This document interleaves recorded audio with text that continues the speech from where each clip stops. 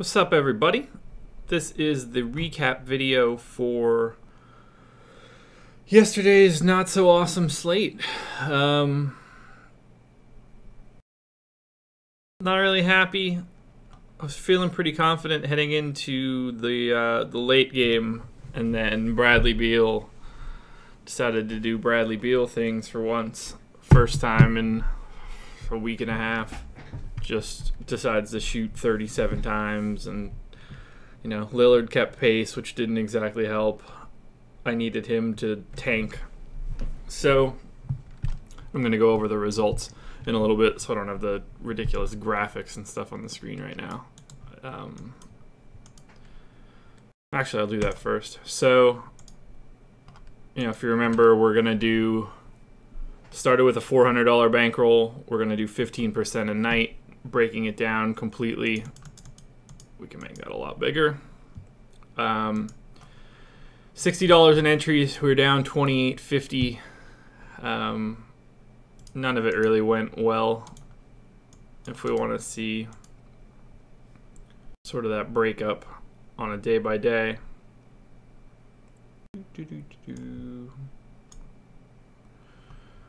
That'll be the best way to do it. Um, yeah, I just sort of took a bath across the board. Head to heads were okay. You know, it, we were down a little bit of 50 50s, just kind of reverse. But I, I happened to do okay in a five man tournament, which is hilarious to think about. Just caught a good break, but ultimately down, um, and you guys will see why shortly. So we're adjusting the bankroll now. It's at the three. Ugh, can't talk. Haven't had any coffee yet. 367.40.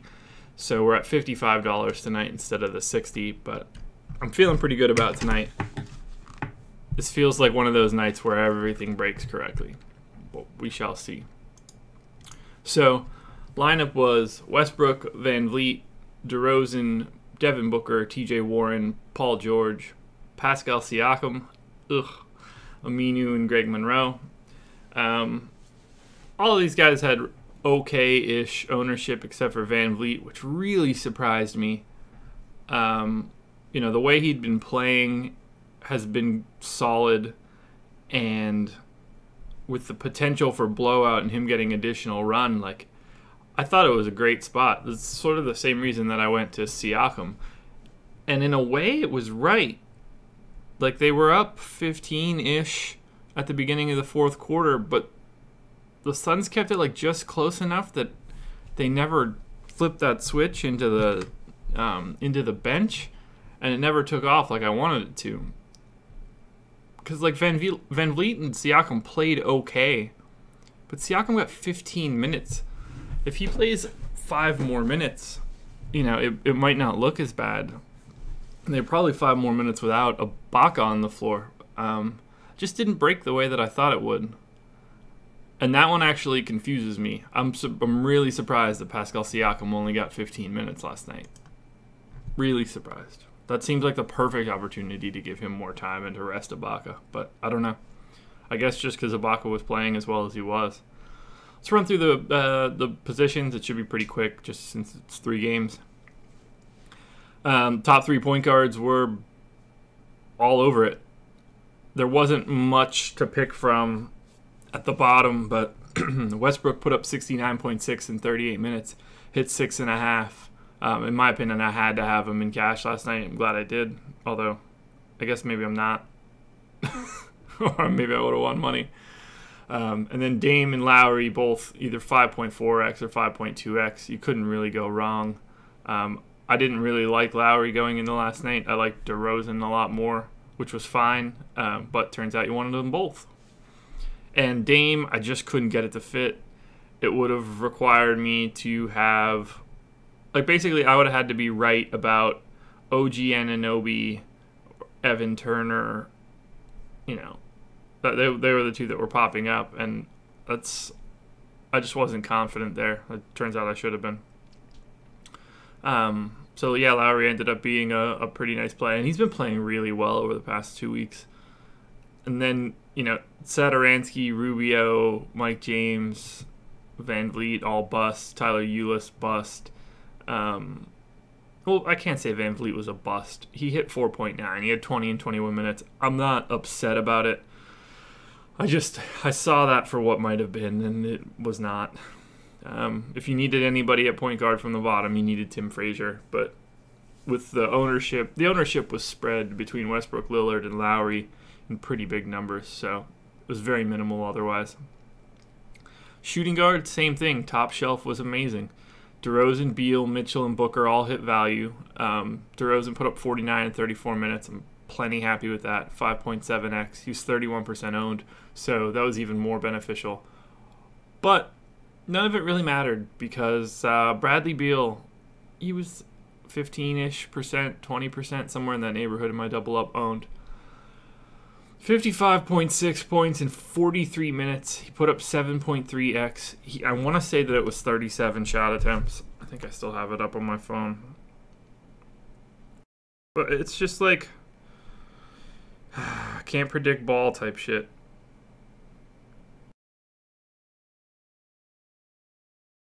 Yeah, 21 of 37 from the field.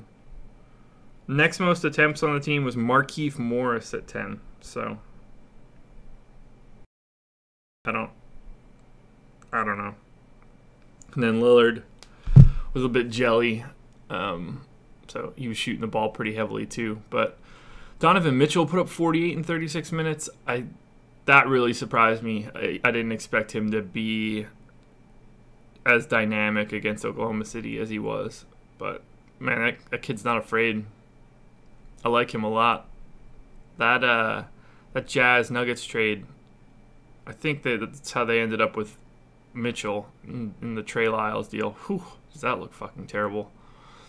And then Booker put up 45 and 39 minutes, uh, 6.3x. I'm plenty happy there. He was 66% owned, so you know, four of my guys were all pretty much locked in across the board for people. Um, McCollum and Burks both underperformed, and you needed Roberson if you wanted any value. I don't think that anybody was actively on Troy Daniels. Um, Norman Powell was someone that some people were talking about. He laid a major egg, which was surprising. Again, but they just they played a short bench. You know, they they played heavy minutes. The starters. Small forward. This one bums me out a lot, but this is where you need to find the value. Um, Paul George was garbage, 26 points in 39 minutes. Uh, their offense is so bad. I watched most of the second half of that game, and it's just the same action over and over and over again. Russ at the top. Uh, Paul George loops to the baseline, comes off a double screen to the wing if they hedge out on that um, and Russ can't throw that pass over the top, then they work some sort of two man game with, you know, a Steven Adams screen or Melo in isolation. And then if Paul George doesn't get the ball on that on on his um, on his roll around the, the the double screen, like he just he's out of the play. He just stands on the wing and doesn't move. And they, I mean, I can't.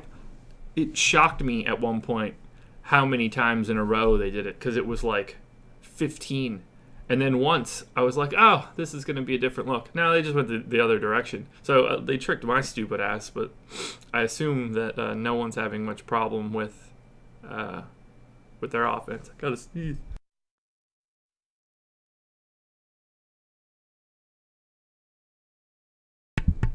Big sneeze. Um so anyway paul george sucked. Otto Porter sucked. 24 points in 30 minutes.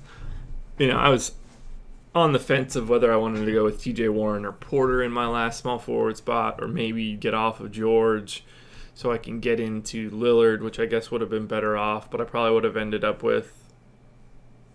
Well, I'll tell you who I would have ended up with. Um, I would have ended up with Joe Ingles, who I liked in the morning, had 29 points in 34 minutes. I never really looked at Oubre um, or Josh Jackson or CJ Miles, and Thabo was game time decision up until lock. So I, I know um, I was seeing him in a lineup or two, but I mean they were talking like he might not, like he was probably not going to play, and then he ended up playing in a huge way. And then OG had a big game, but TJ Warren got the gate, two technicals, eight points in 23 minutes. He was 75% owned, 77% owned. Um, so that sucked. It could have been worse. You know, it's never too big of a deal when a guy highly owned gets sunk like that. But at the same time, to get a 1.2x is still a problem. Um, it really puts you behind the eight ball. It, it takes like the upside out of everything. You shouldn't have any. You, you should still be able to cash pretty comfortably as long as you don't make mistakes like drafting or rostering Paul George. But he, Paul George, just killed me, and I'm I'm surprised at his ownership. But I guess people made the decision of going like Dame or Lowry. If I would, oh man, if I would have liked Lowry, I probably would have got off of George, and that would have been well, it would have ended up being T.J. Warren and Ingles, but I didn't like Lowry, so I couldn't make that salary fit, and that leads to Paul George being 29% owned. As soon as those ownership percentages came out and I saw it, I was like, okay, well, everything I need hinges on Paul George because if Paul George can hit 5x, like just from the way the ownership breaks, I'm going to be in really good shape. Not so much. Then at power forward, I don't even want to talk about this. This one's going to break my heart. Uh, Favors played 22 minutes, put up 19. He should not have been in play for anybody with Gobert back and them still trying to, you know, iron out rotations. Um, Melo ended up getting to 5x. He played like shit the entire game and then had a couple buckets late that got him some points. He's got no explosion any longer, like zero. He made a move to the baseline and went up like he was going to hammer with two hands. And he got to the point where like I would get if I tried to do that, which was three inches short of where you need to be to be able to hammer that. And he had someone coming. So he was able to like lay it in and get the bucket, but he just looked like Father Time had zapped him of all of his athleticism. It was really sad. Then we get to Ibaka, which this one's going to haunt me because it probably cost me being positive for the day. Ibaka put up 39.7 in 32 minutes, and he's been getting an increased run, so I think the Raptors are starting to tighten up the rotation and stretch their, their bigger, by bigger guys, I mean like they're, they're starting to stretch out their starters. I waffled between Ibaka and Siakam because I thought, you know, I had Ibaka for 26 minutes and Siakam for 23. Like they were they were neutral guys to me. And in my mind, you know, Siakam's going to play regardless, but the upside was there that if the game went haywire, he was going to get run. He had done it, you know, a week ago in their big blowout where he ended up playing big minutes and playing a lot of the fourth quarter because they were whooping their ass. And I was like, okay, well, you know, worst case scenario, he'll be right around value and play like, you know, 23 minutes or so. Best case scenario, he ends up playing 30 minutes because they blow them out. And, you know, Ibaka doesn't get the burn. Well, boy, was I wrong about that whole scenario because he didn't get the burn. He didn't get playing time. He played 15 minutes. Serge Ibaka was like 70% owned. So when I saw that, and it was like, okay, well, you know, that's going to get interesting. And Siakam started hot. Like, he had most of that 21.7 in the first half, even the first quarter, or late first quarter, early second quarter.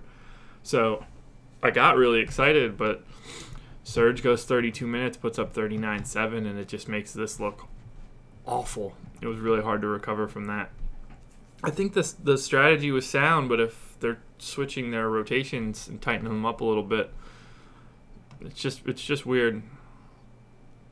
Uh, Markieff Morris and Aminu both hit value, um, so if you were on either of those guys, you're probably pretty happy. Um, I thought Jerebko was an interesting GPP play, but that never materialized. If you had Mike Scott or Jared Dudley, good for you, but I doubt it. And then we get to centers. Um, Rudy Gobert was not rosterable at 8,000 with a quote unquote minutes limit. Nurkic and Adams both had solid nights. Um, you, you wouldn't have been mad that you paid up for them, but this was a night where you probably were on uh, Greg Monroe, who put up 33.5 fantasy points in 25 minutes, 7.4x. He was 69.7% owned. 69. God, I'm such a loser. Oh my God. Uh, so he was the guy that most people were on. But Gortat played well. Alex Len still hit value in his limited minutes. Jakob Poeltl, who was uh, questionable for a lot of the day with an illness, still got the value. So the top half of center was a, a wasteland, but you wanted to be down here, and most people were on Monroe. So I finished with 296.7. Uh, the minutes were pretty close. I actually ended up having you know a better night than I expected. Um, but George sunk me. The T.J. Warren technicals didn't help, and the uh, the Raptors game just didn't play out like I thought it would, or hoped it would at least. And then uh, once I saw the ownership on Lillard, which was like sixty percent, I knew that I was cheering against the Blazers.